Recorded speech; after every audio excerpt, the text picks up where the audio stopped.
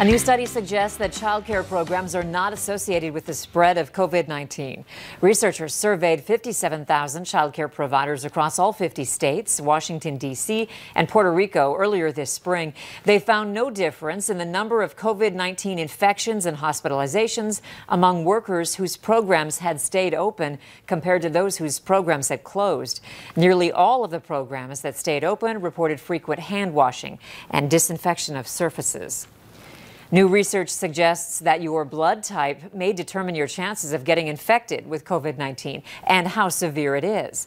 Danish scientists compared the blood types of more than 473,000 infected people to more than 2 million in the general public.